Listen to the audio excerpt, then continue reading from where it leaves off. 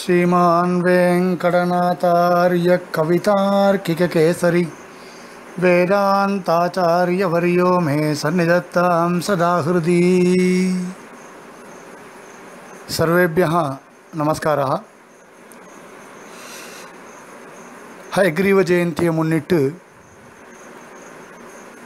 ஹயக்ரீவருடைய பிரபாவத்தை பற்றி அடியன் யதாமதி விஜாபிக்கிறேன் சுவாமி தேசிகனுடைய ஹயக்ரீவ ஸ்தோத்திரத்தை மூலமாக வச்சுண்டு இந்த உபன்யாசத்தை அடியன் பண்ண ஆரம்பிக்கிறேன்.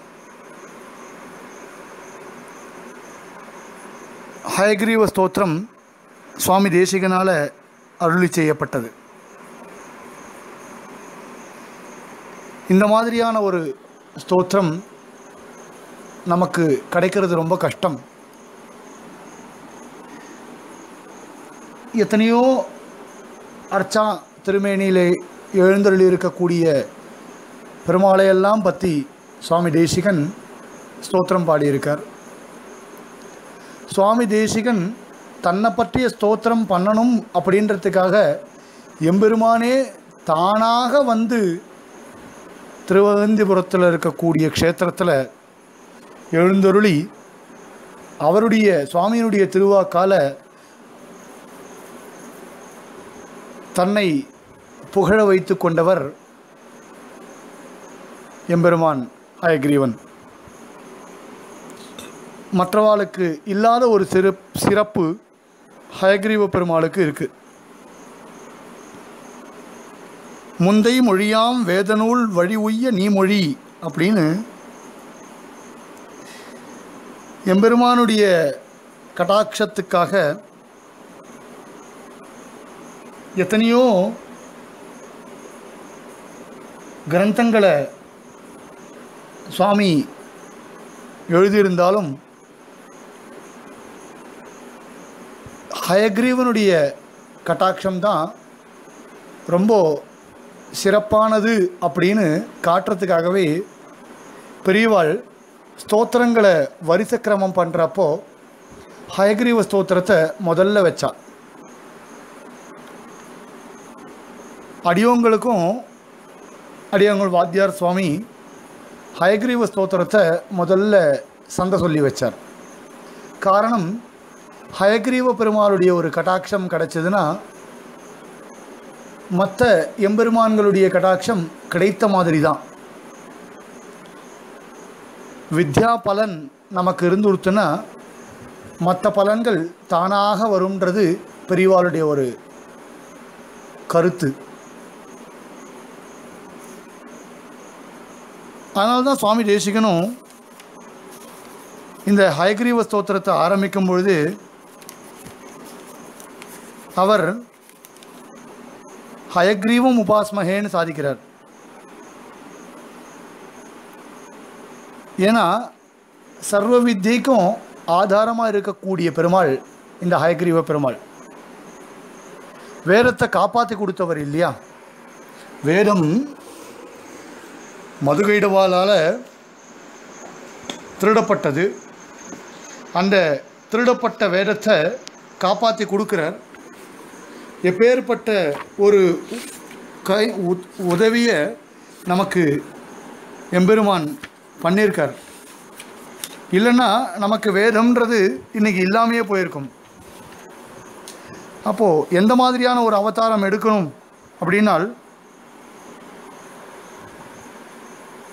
மதுகைட்டவர்கள் வேதத்தை அபகரிச்சுண்டு பாதாள லோகத்துக்கு போனப்போ சிருஷ்டிக்கிறதுக்கே வழி இல்லாமல் நாம் சொல்கிறோமே நாராயணன் நான்முகனை படைத்தான்னு நான்முகனை படைச்சு என்ன பிரயோஜனம்? நான்முகனுக்கு கொடுத்த காரியத்தை பண்ணுறதுக்கு அவருக்கு திறமை இல்லாமல் போயிடுச்சு ஏன் அப்படின்னால் எதை வைத்து கொண்டு சிருஷ்டிக்கணுமோ அதை மற்றவர்கள் அபகரித்துட்டு போயிட்டா அபகரித்துட்டு போயிட்டான்னா இப்போ சிருஷ்டிக்கிறதுக்கு திறமை இல்லாமல் உட்கார்ந்துருக்கார் பிரம்மாணம் சிருஷ்டுவான் சாஸ்திராணி உபதிதேசன்னு சொன்ன வாக்கியத்தில் பாஷகாரர் அப்போது அதை நிரூபிக்கணுமோ இல்லையோ அப்படின்னால் சதுர்முக பிரம்மா அனிருத்தரை போய் பிரார்த்திக்கிறார். வாசுதேவ சங்கர்ஷ்ண பிரத்யும்ன அனிருத்தால்னு சொல்லக்கூடிய அந்த வியூகமூர்த்தியில் அனிருத்தரை போய் பிரார்த்திக்கிறார். அப்போ பிரார்த்திக்கிறப்போ ஏன்னா வேதங்கள் இல்லாமல் இந்த உலக சிரு உலகத்தை சிருஷ்டிக்கிறதுன்றது அவரால் முடியவே முடியாது. அனிருத்தரோ நித்ரையில் எழுந்தருளி இருக்கார் தூங்கிட்டு இருக்கார் அப்போ தூங்கிட்டு இருக்க மூர்த்தியை போய் இவர் பிரார்த்திக்கிறார். ஏன்னா நான் குருடா போயிட்டேன்.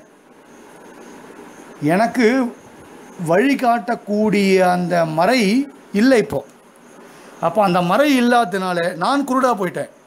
நான் குருடா போயிட்டதுனால நீர் மீண்டும் எனக்கு கண்களை கொடுத்தருள வேண்டும்னு பிரார்த்திக்கிறார். இப்போ மீண்டும் கண்களை கொடுத்தருள வேண்டும்னா அப்போது இந்த விஷயத்தெல்லாம் அவர் மறுபடியும் பண்ணணும் இந்த உலகத்தை சிருஷ்டிக்கணும்னா அவருக்கு வேதம் வேணும்.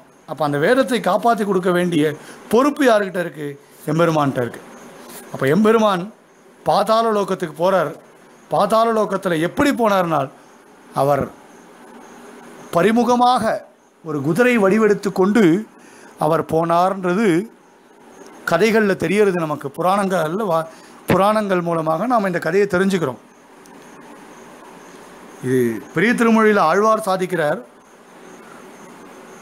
வசையில் நான் மறை கெடுத்த அம்மலரையர்க்கு அருளி முன் பரிமுகமாய் இசைகொள் வேத நூலென்று இவை பயந்தவனே எனக்கு அருள் புரியேம். அப்ப இப்பேற்பட்ட அருள் நீ எனக்கு புரிய வேண்டும். எப்பேற்பட்ட அருள்? சுவாமி தேசிகன் சொன்ன மாதிரி. இந்த ஹயக்ரீவ பெருமாளை தவிர மற்றவர்கள் எனக்கு அருள் புரிய முடியுமான்னு தெரியல வித்யா விஷயத்தில்.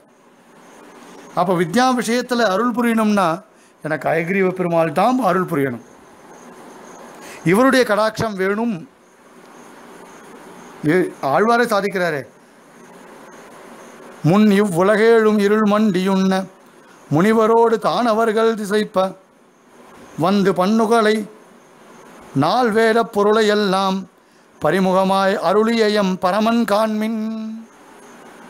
இந்த நான்கு வேதங்களை மீட்டெடுத்து கொடுத்து எம்பெருமான் பிரம்மாவினிடத்தில் கொடுத்தபடியினால இந்த உலகத்தை எம்பெருமான் சிருஷ்டிச்சான். பிரம்மா சிருஷ்டிச்சார் எம்பெருமானுடைய ஒரு அனுகிரக விசேஷத்தினால. அப்போ இது யாரால் நடந்தது அப்படின்னால் கண்டிப்பாக இது அயக்ரீவ பெருமாளால் தான் நடந்தது. இப்பேற்பட்ட ஒரு பாக்கியம். இதை இதையெல்லாம் மனசில் வச்சுண்டு ஆதாரம் சர்வ வித்யா நாம் அப்படின்னு சுவாமி தேசிகன் அயக்ரீவம் உபாஸ்மகேன்னு சொன்னார். சுவாமி தேசிகனுக்கு இந்த மாதிரியான ஒரு கவிதா சாமர்த்தியம் ஏற்பட்டதற்கு காரணம் அயக்ரீவ பெருமாள். சாஸ்திரத்தில் இப்படி ஒரு நிபுணதா வந்ததுக்கு காரணம் அயக்ரீவ பெருமாள். இது அடியனுடைய வார்த்தை இல்லை சுவாமி தேசிகனுடைய வார்த்தை இல்லையா இதெல்லாம்? வெள்ளை பரிமுகர் தேசிகராய் விறகால் அடியோம் உள்ளத்து எழுதிய ஓலையில் இட்டெண்ணம் யாமதற்கின். இல்லையா? யாம் அதற்கின். நான் எதுவுமே எழுதலை. அடியேனால் எழுதப்பட்டது எதுவும் இல்லை. வெள்ளை பரிமுகன் தேசிகராய் இவருக்கு தேசிக சப்தம் இல்லை. இவருக்கு அயக்ரீவ பெருமாளுக்கு தேசிக சப்தம். அப்பேற்பட்ட ஒரு பெருமாள். அப்போ அப்படிப்பட்ட ஒரு பெருமாள் எப்படி எப்படி தேசிகனுக்கு இந்த மாதிரியான ஒரு கடாட்சம் கொடுத்துருக்காருன்றது அவருடைய கவிதா சாமர்த்தியத்தில் தெரிகிறது. இந்த ஹரத்வந்தர் துவாந்தம் ஹயவதன ஹேஷா ஹலஹலஹா அப்படின்னு அந்த ஹலஹலா சப்தத்திலேருந்து இந்த சாமர்த்தியம் ஏற்பட்டது என்று தெரிகிறது. வியாகரண சாஸ்திரம் சொல்லும் பொழுது ஐ உண்ணு ரிழுக்கு ஏவோங்க ஐயவுச்சு அயவரட்டுன்னு ஒரு பதினாலு சூத்திரங்கள் சொல்லுவாவா வியாக்கரணகரா இது எப்படி ஏற்பட்டது அப்படின்னால் நனாத டக்காம் நவபஞ்சவாரம்னு ஒரு கதை சொல்லுவாள் சிவனுடைய உடுக்கை சத்தத்திலிருந்து பாணினி மகரிஷிக்கு இந்த மாதிரியான மாகேஸ்வர சூத்திரங்கள் பதினாலு சூத்திரங்கள் தோணிச்சுன்னு.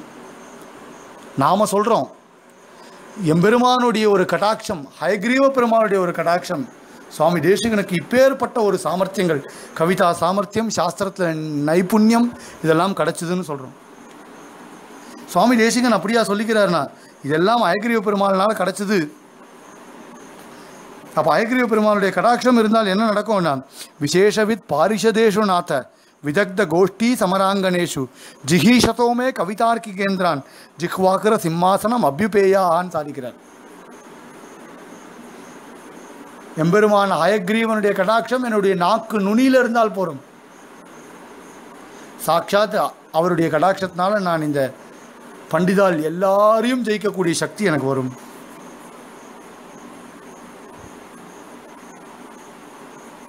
இந்த ஸ்தோத்திரத்தை பண்ணாதான் வந்து எம்பெருமானுடைய கடாட்சத்துக்கு இவர் பாத்திரமாவாரா சுவாமி தேசிகன்? அடுத்து ஒரு கேள்வி.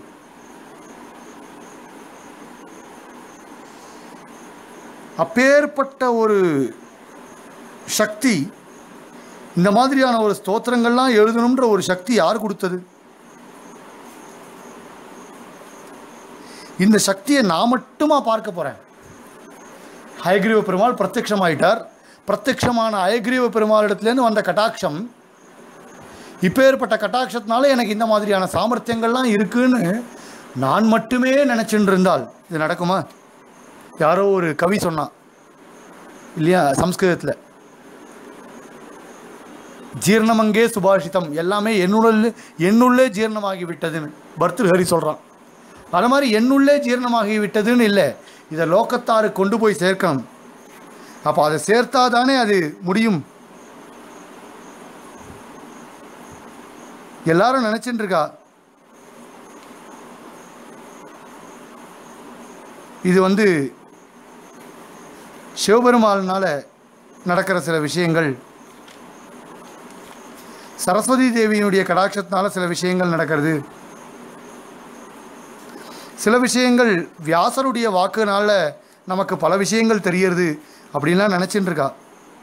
தாட்சிணிய ரம்யா கிரிசஸ்ய மூர்த்தி தேவி சரோஜாசன தர்மபத்னி வியாசாதயோபி வியபதேசிய வாச்சா இதெல்லாம் இப்படிலாம் நினச்சின்னு இருக்கா ஆனால் ஸ்புரந்தி சர்வே தவசக்தி லேசைகி எல்லாம் ஹயக்ரீவ பெருமாளான உன்னிடத்துலேருந்து வந்தது தான் அவளுக்கும் சரி.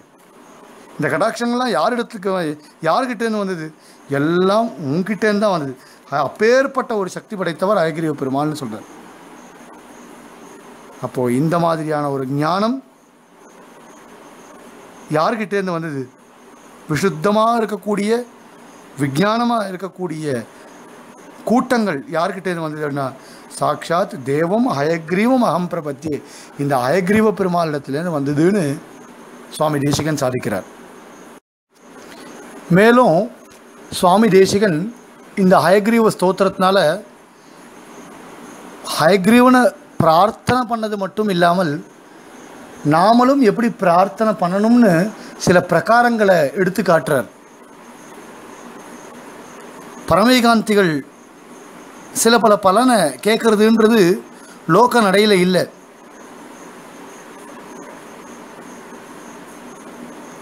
மோட்ச பலத்தை மட்டுமே உத்தேசித்து பிரவர்த்திக்க வேண்டிய சந்தர்ப்பங்களில் லோக ஹிதத்தம ஹிதமாக சில பலன்களை நாம் பரமைகாந்திகள் கேட்கறதுன்றது அவ்வளவு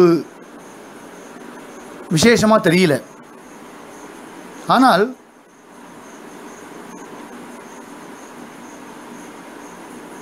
பகவத் பிரசாதத்தை போய் பகவானுடைய கடாட்சம் கிடைக்கிறது. அதை சாதாரணமாக நினைக்க முடியுமோ அப்படின்னு நினச்சால் அது அப்படி இல்லை.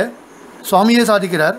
பகவானிடத்தில் சில பல பிரச சில பல விஷயங்களை கேட்டு பெறலாம்னு சொல்கிறார் எதுக்காக அப்படின்னா ஞானாபிவிருத்திக்காகன்னு சொல்கிறார் சித்தாந்த ஸ்தாபனம் பண்ணுறதுக்காகவும் ஞான அபிவிருத்திக்காகவும் பிரதிவாதி விஜயத்துக்காகவும் ஹயக்ரீவனிடத்தில் நாம் சில விஷயங்களை கேட்குறதுல தப்பு இல்லை அப்படின்னு சொல்கிறார் வெறும் மோட்சம் மட்டுமே பிரார்த்திக்கிற சந்தர்ப்பத்தில் கூட சில விஷயங்களை நம்ம கேட்கலாம். அது தப்பு இல்லை. ஏன் அப்படின்னால்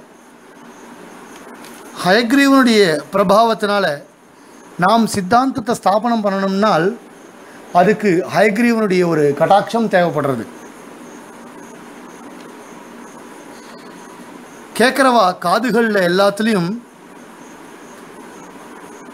கற்கண்டு மழை பொழியிறா போல நாமோ சொல் வளத்தில் சிறப்பாக இருக்கணும் ஒரு சபையில் பேசும்பொழுதுன்னா அப்போது அயக்ரீவனிடத்தில் என்ன கேட்க முடியும்?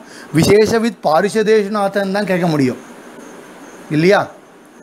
நாம் ஞானாபிவிருத்திக்காக ஹயக்ரீவனை பிரார்த்திக்கிறதும் தப்பு இல்லைன்னு சாதிக்கிறார். எம்பெருமானுடைய கருணை பெருக்கு இருந்தால் தான் அவனுடைய கட்டாட்சம் நமக்கு ஒத்தாசை பண்ணும். ஏன்னா பெரிய பெரிய பண்டிதர்களும் நம்மளுடைய வார்த்தையை கேட்கறதுக்கு அங்கே உட்கார்ந்து கொண்டிருக்கக்கூடிய ரசிகர்களுக்கும் நாம் கோணாமான ஏதோ சம்பந்த சம்பந்தம் இல்லாமல் பேசினால் அது தப்பாக போகும் இல்லையா? ஆகையினால் எம்பெருமானை பிரார்த்திச்சு எம்பெருமானுடைய திருநாமங்களை சொல்லி எம்பெருமான் எப்பேற்பட்ட லோகத்தில் எழுந்தருளிருக்கிறான்ற விஷயத்தெல்லாம் உபாசனம் பண்ணி எம்பெருமானிடத்திலே நாம் சரணாகதி பண்ணிண்டு நாம் சபைகளில் பேச ஆரம்பித்தால் நம்மளை ஜெயிக்கிறதுக்கு அங்கே ஆளே இல்லை. அப்போ இது எதுலன்னு தெரியறது ஹயக்ரீவ இடத்துல நமக்கு ஹயக்ரீவ பெருமாள் நம்மிடத்தில் அனுகிரகத்தினால தெரிகிறது. நாம் எத்தனையோ நாம் நினச்சிக்கலாம் நமக்கு எத்தனையோ கல்விகளை நம்மளால் அத்தியனம் பண்ண முடியும். நமக்கு இருக்கக்கூடிய ஞானத்துக்கு விஸ்வாமித்திரரே ஒருபடி கம்மிதான் கூட நாம் நினச்சிக்கலாம். ஆனால் அது ஹயக்ரீவன் எதிர செல்லுபடி ஆகாது. அப்போ ஹயக்ரீவன் எப்படி பிரார்த்திக்கணும் நம்ம? துவாம் சிந்தையன் ஸ்தொன்மயதாம் பிரபன்னஹா. துவாமத்குருணன் சப்தமயேன தாம்னா சுவாமின் சமாஜேஷு சமேதிஷீய ஸ்வச்சந்த வாதாகவ பத்தசூரகான்னு பிரார்த்திக்கணும் நான் கல்விகள் எதுவும் கற்றவன் அல்ல அதை தார்டியம் ஆக்கிக்கிறதுக்கு நான் பெரியவாளுடைய அனுகிரகமும் பெற்றவன் அல்ல புண்ணிய நதிகளில் போய் ஸ்நானம் பண்ணவனும் கிடையாது நான்। என்ன இருக்குது அப்படின்னால் உன்னுடைய தயைக்கு பாத்திரமாக நான் இருக்கேன். அற்புதமான சரணாகதி. எனக்கு வேற எதுவும் என்னிடத்துல இல்லை. உன்னுடைய தயைக்கு பிரார்த்த பாத்திரமாக நான் இருக்கேன். இல்லையா? நானாவிதானாம் மகதிக்கலானாம். நச்சாப்பி தீர்த்தேஷு கிருதாவதாரா துருவம் தவாநாத பரிகிரகாயாக நவம் நவம் பாத்திரமகம் தயாயாக. எனக்கு வேறு எதுவுமே இல்லை. புதுசு புதுசான பாத்திரங்கள் எனக்கு இப்போ கிடைக்கிறது. என்னதுன்னா ஹயக்ரீவனையே நினச்சிட்டு இருக்கேன் ஹயக்ரீவனுடைய தயைக்கு நான் பாத்திரமாயிருக்கேன். ஹயக்ரீவ பெருமாளை தவிர வேறு யாரையும் நான் சேவிக்கிறது இல்லை. ஹயக்ரீவனுடைய கடாட்சம் இருந்தால் போரும் நான் இந்த உலகையெல்லாம் ஜெயித்து விடுவேன் அப்படின்னு புதுசு புதுசாக நான் பா புதுசு புதுசான பாத்திரங்களுக்கு நான் ஆளாயிருக்கேன். அப்போது இப்படிப்பட்ட பிரகாரங்கள் இல்லையா? இந்த மாதிரியான ஒரு பிரகாரங்களை சுவாமி தேசிகன் நமக்கு இந்த ஸ்தோத்திரங்கள் மூலமாக காட்டுறார். என்னுடைய ஹயக்ரீவனுடைய அனுகிரகத்தினால எல்லா விதமான சந்தேகங்களும் நீங்கி வித்தையில் ஒரு சிரத்தை எனக்கு ஏற்படுறது. இதை பல ஸ்ருதியிலையும் சாதிக்கிறார் இல்லையா? ஆவிர் பூயா தனகமகிமா மானசே வாகதீஷா. இப்போ இப்பேற்பட்ட ஒரு அனுகிரகம். இந்த அனுகிரகம் யாரால் கிடைச்சிது? வாகதீசன வாக்குக்கெல்லாம் அதிபதியாக இருக்கக்கூடிய ஹயக்ரீவன் மூலமாக கிடைச்சிது. ஆகையினால ஹயக்ரீவனுடைய ஒரு அனுகிரகம் இந்த அவருடைய ஜெயந்தி அன்னைக்கு எல்லாருக்கும் கிடைக்கணும்னு பிரார்த்திச்சுண்டு அடியன் விரமிச்சுக்கிறேன் தாசன்.